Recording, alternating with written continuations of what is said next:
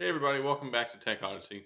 So today I'm here with something really cool. It's a home security floodlight by Eufy. So it's just like those typical floodlights you put on the front of your house, front of your garage or whatever, but it has a built-in camera that supports 1080p video and it records in color. So not just during the daytime, but also at night, which is really nice. So you've got all that going on. You've got adjustable brightness, dual 2500 lumen lights on it. So it has some really good illumination. It's got seven days of free local storage. So you don't have to worry about having your stuff hosted off site, other people having access to it. It's all locally straight to your phone through Wi-Fi, which you can connect to your home router. It's got a four gigabyte built-in internal storage, which is how it records the videos. Then it's IP65 waterproof. It's got motion detection, 140 degree wide angle sensor for wide range sensitivity and security for your front house or wherever you want to put it. And then it's got a smart siren that's 100 decibels. So the way the siren works is you activate it manually. So in the event that you get a notification on your phone for a motion event for wherever you have it installed, you can look at it and if you see that there's something fishy going on, you see something suspicious, you can manually activate the 100 decibel alarm from your phone and it will start making a lot of noise and hopefully scare whoever off. So that's really cool. It has optional cloud storage if you want that. You get your real, real-time alerts. It has all the stuff you need inside of it so you can install it and then it works with iOS and Android devices. So super cool. It's 199 bucks. And I think it's going to be something that you'll probably be interested in, something I'm definitely interested in. Uh, I'm glad that Eufy sent this out for me to review, and I'm looking forward to putting it up on the house. So let's go ahead and take a look at what's inside the box, and then I'm to get this baby installed on the outside of the house. So let's get to it. All right, so let's take a closer look at the floodlight camera.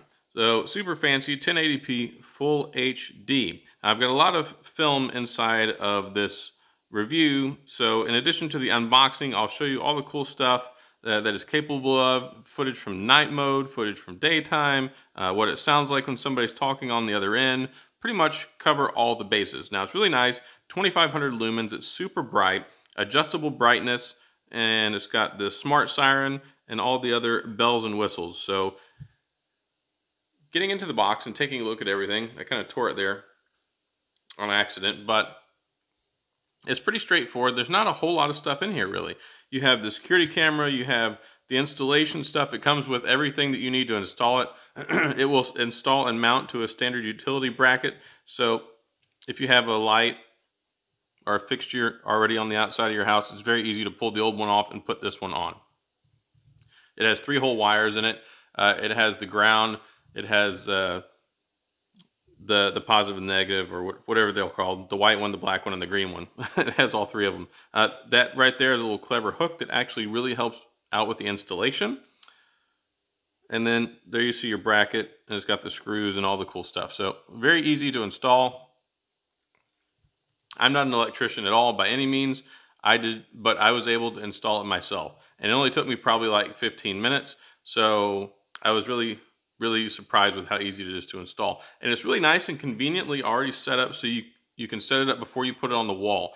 And it'll save your storage settings in the memory. So you can see here, there is a power cord actually attached to the wires. And what you're supposed to do is plug it into the wall um, and then go ahead and set it up and connect everything. So that way, once you plug it in outside, everything's ready to go. You've already got it set up and connected to the, to the app and you're signed in, ready to go. So you don't have to worry about doing anything. So that's one thing that I really liked about it. I was kind of confused at first why it had little, uh, you know, the, the twist uh, cap things for the wires and all that stuff. I was like, well, this is kind of weird, but uh, it's actually really nice. So go ahead and pull this stuff off. You can check out the LED lights. There they are. They are super bright. You'll see in the footage later in the video. Uh, I go outside and just to show it off at night how much it illuminates and it gets really, really bright. Don't take that sticker off until you get installed and everything in place. That's the little sensor for the motion and all that cool stuff.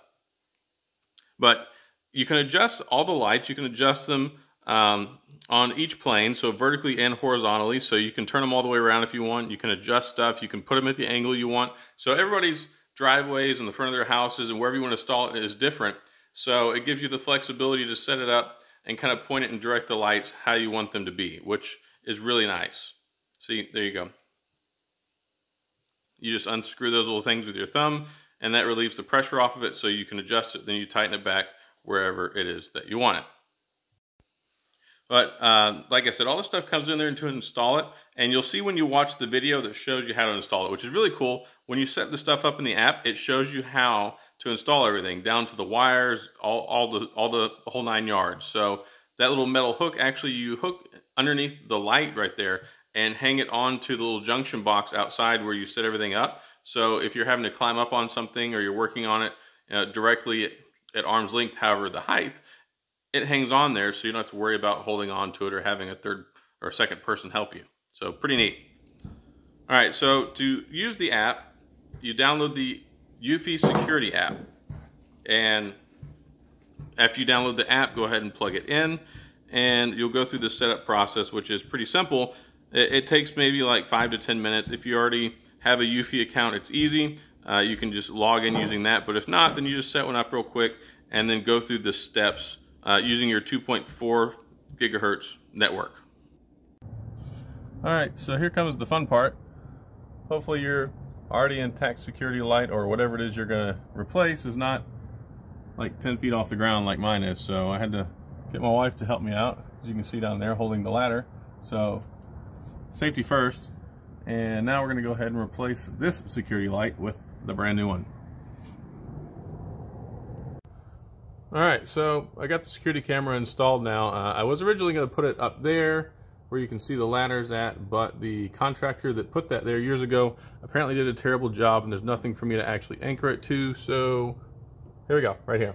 Now, it's pretty easy to install. Uh, whenever you set up the, whenever you set up the security camera yourself um, and go through the steps on the app, there's actually like a three minute video that tells you everything you need to know about installing it. Super easy, there's like one bracket, two screws, and then one main uh, screw that goes into it. So it's pretty easy, and it only took me like a whole whopping 10-15 minutes to get it done. So now I'm gonna go ahead and get my power turned back on because of course the first thing you wanna do is turn your power off before you install it so you don't electrocute yourself or hire a contractor to do it.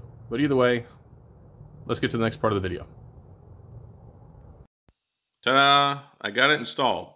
So I'm not even an electrician. I just went and turned the power off and pull off my old light fixture and put this one on. And I really didn't have any issues with it, um, other than just the fact that the fixture underneath it was so old. One of the screws was kind of messed up. It was hard to get out, but it looks really nice. It, it looks fancy sitting on the front of the house there. And I think that uh, Eufy did a really good job with the, the design on this overall. I think it's a sharp looking fixture. All right, so I'm gonna go ahead and sound the audible alarm that's on the security camera. You can do that using the app. Down here you can see the little siren and if you hit that it tells you get this uh, focus. Manual alarm will sound for 30 seconds. You can turn it off though once you've activated it. So let's go ahead and hit the button.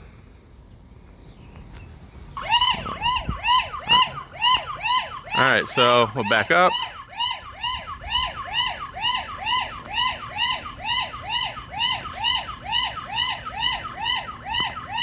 All right, that's enough. I went ahead and deactivated it on the app, but I think that that's pretty good. It's right I think it said like 100 decibels, and it should be pretty much good enough to scare off anybody that happens to try and sneak into your driveway, whether it's daytime or nighttime. Uh, it's particularly startling, and yeah, I think it's a nice feature that they have included with the camera. All right, so I wanted to go ahead and show off the light at nighttime so you can see how bright it is. Uh, it illuminates everything really well, especially with these bright white LED lights that it has. So I'll come over here.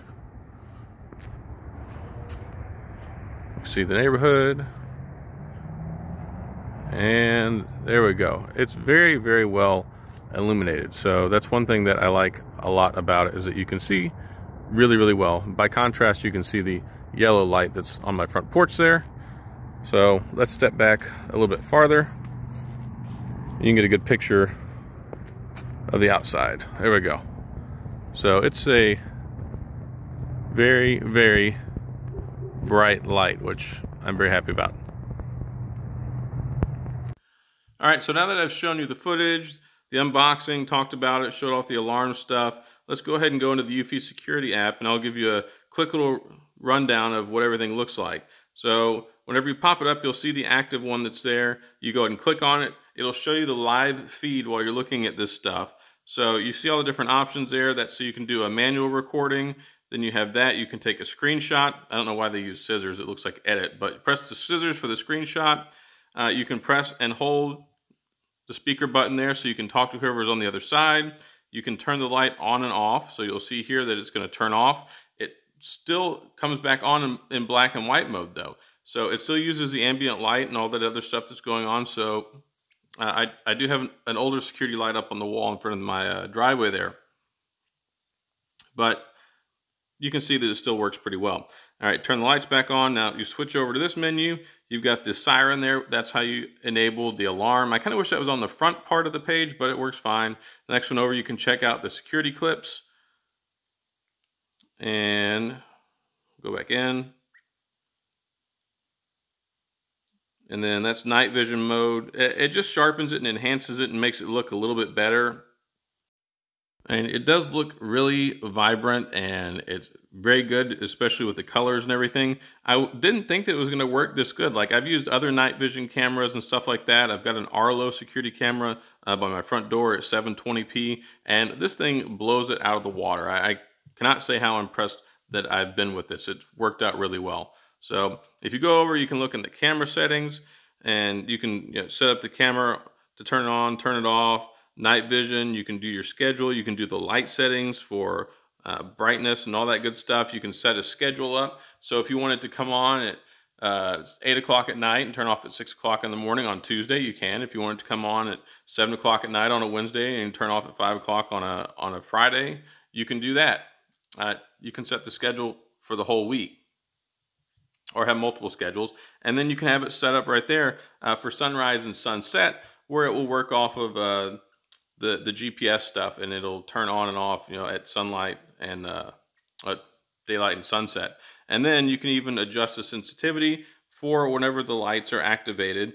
And one thing that I also like is you can set up the brightness for the lights for manual mode when you have the lights on and off, or if it's a motion event or a scheduled event. So you can have the lights on for different levels of brightness for the three different settings, um, however you have that set up. And I thought that that was pretty novel. So you can have it be like full max on brightness if there's a, a motion event, but if you just have it on, like let's say your scheduled or your manual mode, you could have it at 50, 60%, and then if there's a motion event, it'll kick up even brighter. So there's a difference kind of startle people and let them know what's going on. The recording settings there, see it's set for 59 seconds. The motion event, if the motion stops, you can have it set up where the recording stops. Now there is the four gigabyte SD card in here, and based off of the length of the recordings and the sensitivity and all that stuff is going to dictate how long it's going to last, but um, it should last for quite a good while, and then it'll just start recording over the older ones.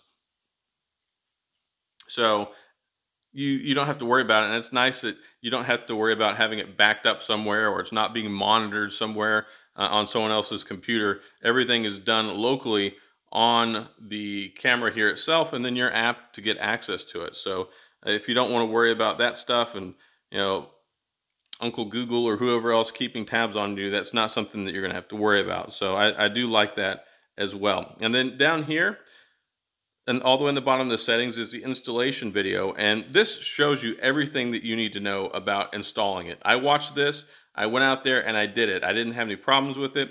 And then if you run into hiccups, you can go back and you can re-reference it. But it's probably the most helpful installation video I've ever watched. And it's nice that you get to see it when you do the initial setup but then you can go back once you get it set up before you go and put it on the wall, since you've already got the app set up and everything, you can watch it again.